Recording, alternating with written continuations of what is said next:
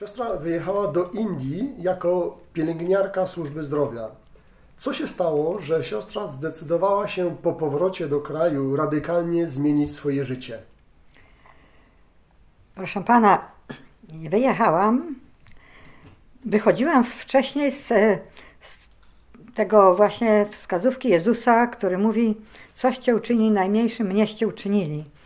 I kiedy z Indii ksiądz misjonarz pisze, że on jest tak przemęczony, bo nie ma, pie, nie ma pieniędzy, żeby opłacić pensję dla pielęgniarki, a ma dużo trendowatych i sam zakłada opatrunki, no bo trudno do trendowatego kazanie głosić, jak mu muchy do rany wchodzą.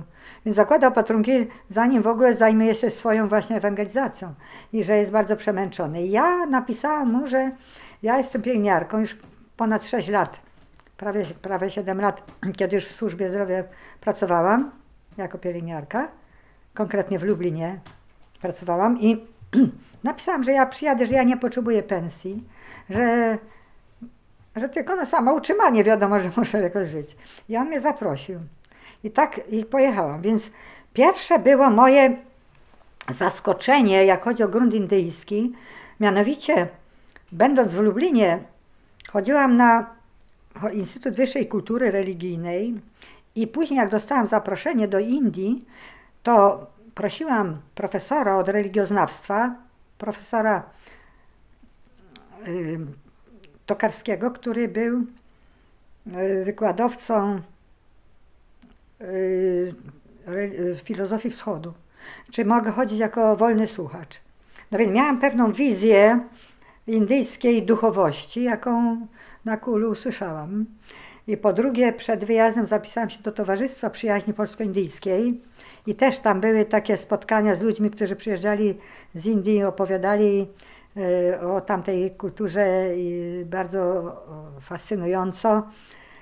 E, były książki, tłumaczenia niby indyjskich dzieł, e, tłumaczenia na język polski przez panią Wandę Dynowską, która w Indiach też od przedwojny była. W każdym razie miałam pewną wizję i co mnie zaskoczyło, że to się nie zgadza z tym, to co jest w realiach, nie zgadza się z tym, co ja sobie wyobraziłam na podstawie relacji innych. I drugie, co tak konfrontacji z tym, co w Polsce słyszałam, a z tym, co zobaczyłam, tak na pierwszy rzut oka nawet, kiedy się mówiło w Polsce, wbrew ateizmowi, że przecież wszyscy ludzie w Boga jakoś wierzą, że przecież ateistą być, no to trzeba w ogóle nie, nie, nie mieć rozumu, żeby, że jakby nie było, różnie, różnie rozumiem, ale każdy w Boga wierzy i jakoś, i każdy jakoś Boga czci. Więc ja rozumiałam, jakoś czci Boga. No i teraz, jeżeli ja w Indii raptem zobaczę kogoś, który właśnie krowę adoruje, kwiatkami, prawda, dekoruje rogi i głaszcze i całuje sobie dłoni, głaszcze krowę i całuje sobie dłoń. No, wszyscy jakoś Boga czczą i tutaj mi jakoś taka konfrontacja, no jakoś Boga czci, ale czy to Bóg? I od razu mi się przypomniał Złoty Cielec, że jednak, jednak Żydzi też, jak wyszli z Egiptu, to ten kult cielca jest jednak starożytny bardzo, skoro Żydzi, jak tylko stracili kontakt z Mojżeszem, zrobili sobie cielca i Izraelu, oto twój Bóg, który cię wyprowadził. No niby symbol Boga. No ale jak zareagował Mojżesz? I mnie się właśnie skojarzyło to zareagowanie Mojżesza z tym kultem cielca współczesnym, jakim jest tam kult e, właśnie świętych krów. Oczywiście nie wszystkie krowy się traktuje jako święte, bo są krowy do pracy, do orki, do zaprzęgu różnych tam wozów, ale o niektóre, prawda, jako święte. Więc nie, jak, jak rozmawiamy z ludźmi, którzy są taki tolerancyjni, ekumeniczni, pseudo, no to no on se tak Boga wyobraża, ale to jest prawdziwy, on se wyobraża, że to jest Bóg, ale, ale on czci Boga, bo on w sercu chce czcić Boga. A przepraszam, ci Izraelici też w sercu chcieli czcić Boga. Jak Mojżesz zareagował? Bo to jest ubliżanie Bogu, y, identyfikowanie Boga z cielcem, nie? Więc mnie się to wszystko zaczęło burzyć, w mojej, znaczy struktura myślowa burzyć. Nawet nie to, że burzyła mi się protest, nie. Dla mnie to było zaskoczeniem wiele rzeczy i pewne rzeczy weryfikowałam, chociaż zajmowałam się służbą zdrowia, tak. Pracowałam z chorymi, tak. Ale życie wskazywało na takie zjawiska, które mi przeczyły z tym, co ja słyszałam w Towarzystwie Przyjaźni Polsko-Indyjskiej, czy na Kulu, czy nawet w takich, ciągle się na przykład na kazaniach słyszało, jak to Gandhi był, prawda, yy, no doskonały przykład Gandiego. A nikt nie mówił, ile Gandhi po prostu skopiował z Ewangelii. Zresztą Gandhi tego się nie, nie wstydzi, a nie kryje. Wręcz mówi, że Jezus powiedział, błogosławieni ubodzy, błogosławieni cisi. On to często cytuje.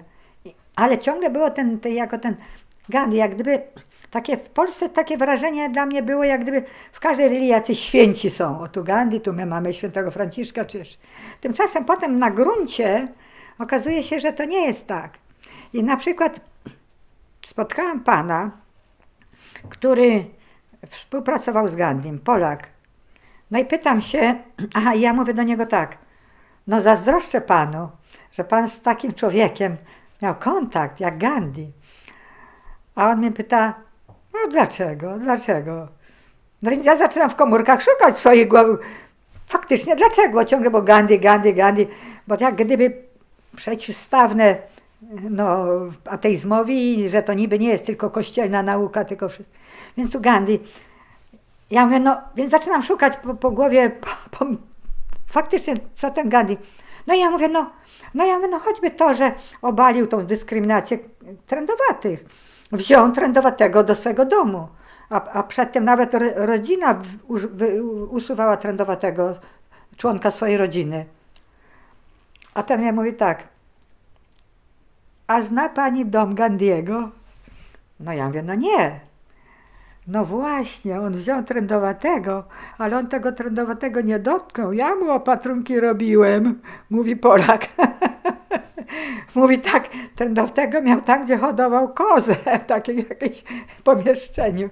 No dobrze, ale widzi pan, teraz porównajmy Damiana, porównajmy Bejzyma świętych, prawda? Matkę Teresę, czy już nie mówię nie, że się tymi trendowatami też zajmowałam i, i nie nie, nie, nie robił się wielkim bohaterem. Właśnie o co mi idzie? Że pewne fakty są w realiach trochę inaczej wyglądają niż to, co było potem rzucone na zewnątrz. Bo faktycznie faktem jest, że Gandhi występował przeciwko dyskryminacji narodowatych. Chory ma być leczony w domu i, i ma mieć opiekę. I owszem, tak, no i teraz zamanifestował, że on Trondheim wziął do swojego domu. No tak, tak, to był jego dom, ale jednak tego, ten, do tego bał się dotknąć. Więc właśnie e, są tak samo je, je, wiele właśnie, wiele takich, no jak to miłość do życia, że szanują Hindusi każde życie. Owszem, są tacy, że miotełką odmiatają, żeby mrówki nie rozdeptać, ale krwawe ofiary to nie tylko tysiące zwierząt, jak jest na przykład y, festiwal dla bogini Kali, słynnej y, bogini, no ona jest boginią uważana, że ona kieruje wszelkimi kataklizmami czy choroby, są w jej władzy. On mogę, może rzucić jakąś zarazę albo powstrzymać. Więc bogini Kali. I teraz przed boginią Kali nawet składano ofiary krwawe z ludzi. Tylko to jest zakazane już konstytucją, a nie religią. Religia nie zakazuje, dlatego że ofiary bogini Kali złożone, dusza przechodzi w nowe ciało albo w ramiona bogini Kali, bo są różne interpretacje. Złożone w ofierze dziecko na, na cześć bogini Kali, co się z jego duszą dzieje? No w ramiona bogini Kali wchodzi, więc już nie musi przechodzić jeszcze jednych wcieleń, albo jeszcze raz się wciela, ale już wyżej. Więc tu jest inna po prostu filozofia, inne wartościowanie życia jako takiego i życia ludzkiego, gdzie, gdzie w teorii o reinkarnacji życie zwierzęcia i życie człowieka to jest tylko kwestia następnego etapu wcielonej duszy. Bo ta dusza, która była powiedzmy w ślimaku, w rybce, w jaszczurce, ptaku, ssaku, przechodzi potem w duszę pariasa. On wierzy, że się wcieli, będzie wajsią, potem kszatrią, potem będzie braminem, będzie supermenem. No. Więc, tu, więc co jest człowiek, trudno tu powiedzieć, bo dusza. Dusza, która ma kształt człowieka, a jutro będzie miał kształt inny, innego ciała. Więc to jest anonimowość. Więc cały, cały humanizm właściwie się tu wali. Humanizm potem można rozumieć, że każde takie uczucie kochania zwierzątka, kochania człowieka, wszystko jedno, no bo to, to, to jest humanizm, a nie, a nie człowiek, a zwierzę, to jest różnica. Bo tu jest nieśmiertelność przed człowiekiem, perspektywa wieczności. Tego nie ma przed zwierzęciem. Więc tutaj, więc wie pan, takie, bo pan, wracam do pytania, takie kontrasty z tym moją, tym moją jakąś wyobraźnią i z tym, co zastałam, ciągle zaskakujące kontrasty. Nawet jak opatrunek y, trendowatemu zakładałam i przyszedł człowiek, który chciał, żebym ja mu dała bezpłatnie, bo rozdawałam bezpłatnie mleko w proszku, cukier, dostawałam bez cła, żeby bezpłatnie dawać tym biedakom. Nie? No ale on chciał mleko na przykład w proszku. I teraz ja tłumaczę, że ja mam dla chorych trendowatych, gruźlicy, spuchniętych z głodu, a pan se może kupić, bo był bogaty człowiek. A ten mówi, ale po co, po co parias ma czekać 50 czy 80 lat, podtrzymywać to życie, jak on teraz, mając 20 lat, będzie miał nowe ciało? Czemu ma on czekać na nowe ciało 50 lat czy 80? Więc po co przedłużać życie tych ludzi, jak jego czeka wyższe wcielenie? A ja w to nie wierzę, że będzie miał wyższe wcielenie. Ja w to nie wierzę, że będzie miał drugie wcielenie. Ja w to wierzę, że to życie jest jedyne. Jak on dłużej będzie żył, on jeszcze duchowo się będzie rozwijał. On jeszcze wzrasta w łasce. Bo jak zakończy to życie na wieki, ten poziom łaski mu zostaje na wieki. I dlatego to życie jest ogromnie cenne. I to życie chcę przedłużyć i temu życiu służę. A, a w, w tamtym pojęciu im wcześniej zakończy to życie, będzie miał następne życie. To jest bardzo, to jest bardzo y, inne zupełnie myślenie. Jeżeli ja potem spotykam jakieś takie teksty, że oni inaczej tylko myślą, ale tak samo wierzą, to jest nieprawda. Czy z innego punktu widzenia y, na Boga patrzą, to jest inny punkt, in, inne pojęcie Boga, inne pojęcie człowieka, inne pojęcie nieśmiertelności. Także to wszystko, co zastałam, a to, co sobie no, zapamiętałam z polskiej rzeczywistości, budziło we mnie pytanie. Mianowicie, no jak to jest, że Gandhi i jego współpracownicy, faktycznie tu jest Gandhiego wielka zasługa, cała reforma, cały zakaz, zakaz, konstytucyjny zakaz dyskryminacji kastowej, że nie wolno człowieka traktować jak zwierzątko, bo pariasów się tak traktuje, że tu jest dusza zwierzęca, ale już ciało człowieka.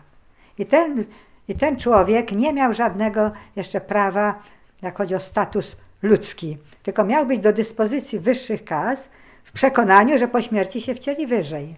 I wtedy będzie już miał inne, inny status, inne obowiązki. Więc dyskryminacja kastowa obalona. Drugie, zakaz składania krwawych ofiar z ludzi, bo krwawe ofiary dalej, myślę, że do dnia dzisiejszego e, kontynuowane. Dalej, palenia wdów. To była praktyka i do tej pory nawet znalazłam w internecie, że jeszcze niektórzy to praktykują, bo silna wiara do tego skłania, jeżeli to jest sankcjonowane wiarą.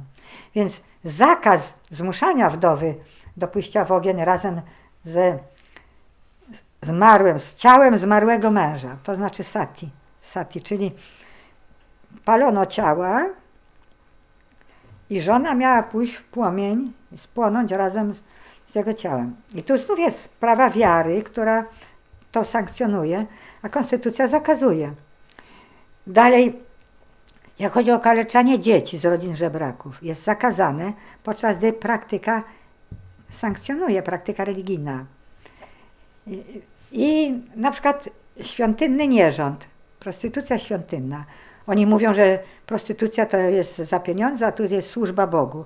Jakby nie było, to jest jednak, jest dalej świątynny nierząd, ale nie wolno rodzicom decydować, że ta i ta córka pójdzie do świątyni i oddać nieletnią dziewczynkę do świątynnego nierządu. Jest to zakaz. A praktyka była taka, że rodzice decydowali, powiedzmy, mają kilka córek, ta będzie oddana do świątyni właśnie takiej, ja wiem jak to nazwać, ceremonią religijną, rytuały, a ta powiedzmy wyjdzie za mąż, tak jak u nas były powiedzmy zaślubiny w kołyskach, nie? I rodzice decydowali. Więc e, zakaz jest konstytucyjny, żeby rodzice decydowali o losie swoich dzieci, w sensie takim, e, nie w sensie, że rodzice doradzają czy kierują, ale w sensie nakazu. I dla mnie było to pytanie, przecież jak ci ludzie, którzy opracowali konstytucję, bo to nie był jedyny Gandhi, na jakiej podstawie oni to e, mieli po prostu pomysł, żeby to zakazać, a niby byli wierzącymi hinduistami. To jak byli wierzącymi, to powinni respektować to, co wiara nakazuje. Czy po prostu może nie nakazuje, a sugeruje. Bo to nie jest dokładny nakaz, ale suge, sugestia jako wyraz, wyraz y, dewocji, prawda, doskonałej.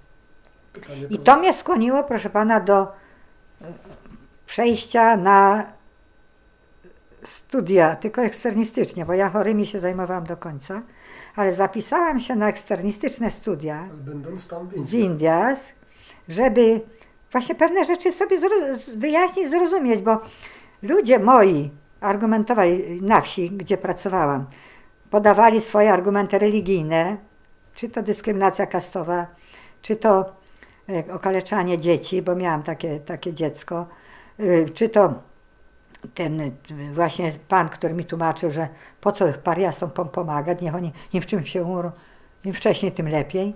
Więc to wszystko razem chciałam, jak to, jak to uczeni hinduiści potrafili wyrzucić i konstytucję napisać na innej zasadzie. I proszę pana, jedno, co mi otworzyło oczy, mianowicie deklaracja praw człowieka. Oczywiście Gandhi się nie powoływał na dekalog, zresztą nie tylko Gandhi, ale wszyscy reformatorzy, że dekalog, bo tu jest właśnie, ale deklaracja praw człowieka na tym dekalogu jest oparta. No tak. Deklaracja praw człowieka wypływa z duchowości chrześcijańskiej. Wolność, równość, braterstwo. Hasła te. Na jakiej podstawie wolność, czy równość, czy braterstwo? Jeżeli my wierzymy, że Bóg jest Ojcem, no to wszyscy Jego dzieci jesteśmy braterstwem. Ale jeżeli się odrzuci to objawienie, Boże objawienie, naukę Jezusa, która mówi o Bogu jako Ojcu i my jako Jego e, dzieci, to, to nie ma podstaw słowo braterstwo czy równość, kto komu równy. A tu do, dopiero świętego Pawła mamy. Nie ma Żyda ani Greka, nie ma niewolnika czy wolnego, nie ma kobiety czy mężczyzny. Jesteśmy wszyscy równie, jesteśmy dziećmi Boga, dziećmi, uczniami Jezusa Chrystusa. I tu jest, czy, czy wolność. Do wolności wyswobodził was Chrystus. A tam każdy się urodził w tej, w tej kaście i w tej kaście musi zostać, żeby wcielić się do nowej, wyższej kasty, to musi zrealizować obowiązki tej kasty, w której się urodził. Bo jest przekonanie, że taką dusza ma takie cechy, jakie w ciele nie przyjęła. Wobec tego, jak ma takie cechy, to taką funkcję ma spełniać, żeby się rozwijać dalej i wcielać wyżej. Więc tu jest takie bardzo zamknięte, jakby, ja wiem, taki, taka drabina społeczna, kastowa, dziedziczna, już nie tylko z wyboru, bo tak, no wiadomo, społeczeństwo będzie miało swoje hierarchie. I to, proszę pana, drugie, co ja na, tym, na tych studiach wykryłam, że te wszystkie informacje, jakie miałam w, w Towarzystwie Przyjaźni Polsko-Indyjskiej na temat indyjskiej kultury, wedyjskiej nauki, to była rzeczywiście treść, owszem, z Indii, ale przerobiona treść.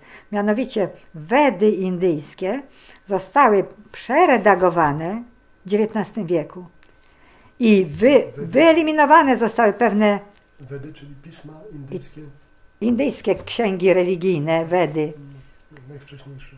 No, bo to się mówi e, kultura wedyjska, nauka wedyjska i proszę Wedy. Ale właśnie te Wedy, które my znamy, to są Wedy już oczyszczone z tych jakby paragrafów Pierwszy, pierwszej wersji, która sankcjonowała to, co, o czym ja mówię. To, co wiejscy ludzie zachowali, a już ludzie wykształceni odrzucili, którzy poszli za wskazówkami e, deklaracji praw człowieka, Europejskimi, cywilizacyjnymi. no tak, bo proszę pana, kolonizacja tam już trwała kilkaset lat. Ludzie indyjscy z wyższych warstw wyjeżdżali na studia. Sorbona, Paryż, Cambridge, Londyn, to też to Kalifornia. No znam przecież takich, którzy tam po- pokończyli studia, profesorów indyjskich. Więc wiadomo, że pewne myśli zostały u nich zweryfikowane. Tym bardziej, że hinduizm nie ma żadnej instytucji, która by mówiła, co jest prawdą, a co nie jest prawdą religijną. Tak jak my mamy Urząd Nauczycielski Kościoła i Urząd Nauczycielski stwierdza, Jezus mówił inaczej niż ty. Tak mówił Jezus i to jest prawda, a to, co sprzeczne z tym, co mówił Jezus, nie jest prawdą. Mamy kryterium prawdy, Jezus Chrystus i Urząd Nauczycielski Kościoła, który pilnuje, żeby ta nauka nie została e, sfałszowana. Natomiast nie ma czegoś takiego w Indiach. Każdy guru jest już jako boski prawie traktowany i on uczy to, co jemu się wydaje jako najwyższa wartość dla człowieka, najwyższa wiedza. I dlatego, ponieważ nie ma jednolito, jednolitego przekazu, każdy sobie dowolnie wybiera przekaz, który go przekonuje, bo nie ma odniesienia, gdzie sprawdzić, co jest obiektywną prawdą. I proszę pana, co jest charakterystyczne?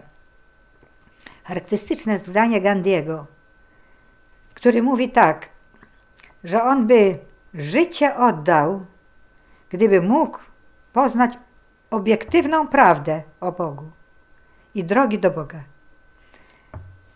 Ale ponieważ to jest niemożliwe, to stara się być wiernym tej prawdzie, która go, jego przekonuje, że to jest prawda, która jemu się jawi jako prawda.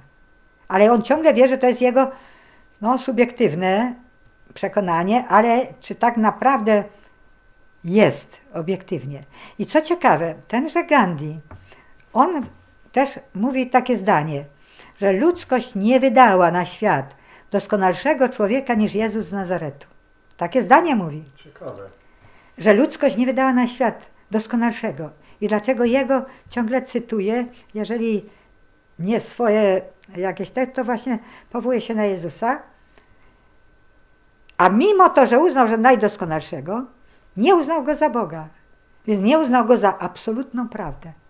Mimo, że Jezus mówi, ja jestem prawdą, drogą, życiem. I, i dlatego, no, jaka była przyczyna, że nie uznał, nie przyjął chrześcijaństwa? W Polsce się mówi błędnie, że Gandhi nie przyjął chrześcijaństwa, bo chrześcijanie nie są wzorowi i dlatego nie przyjął. Proszę pana, żaden guru nie jest wzorowy według, według wymagań, powiedzmy, norm, jakie miał Gandhi. Ani on sam nie był tak, tak doskonałym. Tylko Gandhi, no, jeżeli on nie uznaje Jezusa za Boga, tym bardziej, że w Indiach Gandhi, on był chyba oswojony z tym, że wielu mężczyzn podaje się, że on jest Bogiem. Tak jak było, że cesarz był Bogiem, wierzyli ludzie, prawda? W Indiach był taki Meher Baba, był Sai Baba, prawda? Jako podawali się, że on jest Bogiem, że on jest wcieleniem Boga. No i teraz my mówimy Jezus wcielenie Boga. Więc Gandhi, ponieważ miał dosyć tych różnych wcieleń Bogów, odrzucił jednocześnie i Jezusa jako Boga, ale uznał jego geniusz, je, jego perfekcję, uznał wartość jego nauki, społeczną naukę Jezusa i o, nauka z Kościoła oparta na tej nauce. On to uznawał i on to adaptował. Ja widzę, że wiele, wiele religii pogańskich właśnie ma już adaptację chrześcijańskich poglądów, chrześcijańskiej moralności, pod ich nomenklaturą jeszcze pogańskich e, e, religii. I dlatego te studia, które ukończyłam tam z wynikiem Bachelor of Arts, czyli bakalarz nauk humanistycznych. Tam było tak, nauki ścisłe, nauki przyrodnicze i nauki humanistyczne. E, I to po pięciu latach studiów otrzymywało się taki dyplom. No i ja ten dyplom też mam i na ten, na, ja bazuję na tym, co poznałam na terenie bardzo, że tak powiem, prymitywnej społeczności i uniwersyteckich programów i programów potem na świat rozsyłania tej wiedzy. Więc jeżeli ja poznaję tak zwaną neovedantę, czyli nowe Wedy, nowa Weda i teraz neovedantę opracował bardzo zdolny filozof, Hindus, Vivekananda. Swami Vivekananda. On się nie, nie podaje, że on jest boski, ale jako boską postać czcił Rama Krishnę. To był taki mistyk hinduistyczny, bardzo taki łagodny i taki sprzyjający każdemu. W każdym razie Vivekananda wychodzi z tego założenia, że my w Indiach walczymy o niepodległość, chcemy się wyzbyć kolonistów. Ale jeżeli koloniści opuszczą kraj, jak utrzymać jedność całego społeczeństwa? I on wychodzi z takiego założenia, że jedność ludzie będą zachowywać, jeżeli mają wspólny język i wspólną religię. Że religia dzieli ludzi. To prawda, czy to prawda? Będzie konflikt tutaj. Będzie jeden będzie szedł inną drogą, drugi inną, bo jedna religia wytycza inne normy postępowania, a druga religia wytycza inne normy postępowania. Wobec tego w życiu społecznym, którą, no, które normy postępowania wziąć jako normę, powiedzmy, konstytucji czy kodeksów jakichkolwiek prawnych. I dlatego chodziło o ujednolicenie. I tu, to jest genialny pomysł, że ujednolicić. No więc ujednolicić wszystkie religie, sprowadzić do jednego mianownika. To jest właśnie połowa XIX wieku. I za jego myślą poszli inni. Taki był filozof Rama Krishna, Rada Krishnan. By, było ten Rada Krishna nawet był prezydentem przez y, w pewnym okresie, nie pamiętam w których latach, w każdym razie to był wiesz, filozof, który w Anglii skończył studia filozoficzne i był nawet przez jakiś czas y, asystentem na filozofii, a później właśnie w Indiach włączył się w ten nurt połączenia różnych religii w jedno. I dopiero jak ja zobaczyłam, jak oni chcą katolicyzm w to jedno włączyć, mnie to trochę przeraziło. Dlatego, że tak mówi Vivekananda. No, niestety nie sfotografowałam sobie tekstu Vivekanandy, ale on tak powiada, że złączyć wszystkie religie w jedno najtrudniej będzie katolików włączyć, bo już protestanci podlegają pod prawo państwowe. Czyli jeżeli władza zadecyduje, wyznawca protestancki się podporządkuje czy powiedzmy tam jest ten, to chrześcijaństwo, anglikański kościół. Oni się podporządkują. A katolicy są poza państwową władzą, mianowicie papież, prawda, jest centrala, niezależna od władzy jakiejkolwiek. I teraz można, jeżeli katolik, prawda, no, odchodzi od nauki nauc Kościoła, to go inni od razu korygują, poprawiają, że to jest błędem. I, i, I tak Vivekananda mówi, że nie możemy właściwie katolików tak wprost naciskać na przyłączenie, bo ich jest mały procent, ale to jest tak jak ogon kobry. Mówi tak, musimy tak postępować jak z, z łowieniem kober. Jeżeli złapiesz za ogon, to cię kobra ugryzie. Musisz łapać za łeb. A ten łeb to jest poza granicą Indii.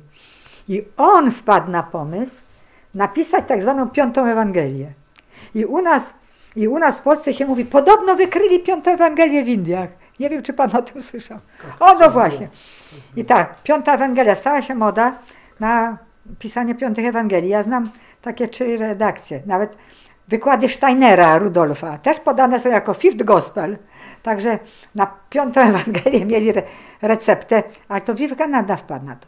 I Vivekananda opracował teksty, że w naukę Jezusa wpisał, ja nie mam niestety o Vivekanandy treści tej piątej Ewangelii, tylko mam, ja mam w angielskim tekście piątą Ewangelię Steinera, wykład jako piąta Ewangelia. To mam w oryginalnym tekście jego. W, w każdym razie on tą piątą Ewangelię opracował i zaproszony został do Stanów Zjednoczonych y, z wykładami przez teozofów. Bo y, Bławacka, Helena Bławacka, która była okultystką i to wysokiej klasy okultystka, y, w Tybecie właśnie wykształcona w okultystycznych sztukach. Myślę, że przechodziła inicjację okultystyczną, wejście w kontakt z światem demonicznym, to jest specjalna inicjacja. W każdym razie ona założyła Towarzystwo Teozoficzne w Stanach Zjednoczonych w 1875 roku. Tutaj przerwę. I Vivekananda tam wyjechał. Tu przerwę, bo na ten temat zadam inne pytanie. Będzie tak.